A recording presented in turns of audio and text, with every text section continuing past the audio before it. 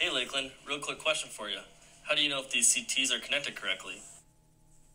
The Elite Pro XC power meter from Dent Instruments features phase check LEDs. The LEDs flash green when the voltage phases and the CTs are in the correct orientation.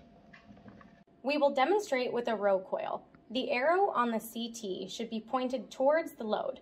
Looking from this angle, the white wire will be on the right and the brown wire will be on the left.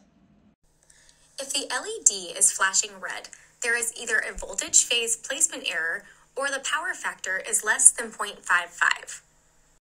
When the LED is flashing blue, the CT is on backwards, meaning that it is pointed away from the load instead of pointing towards the load.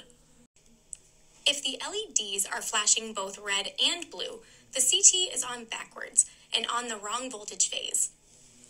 Thanks for watching. See you next time.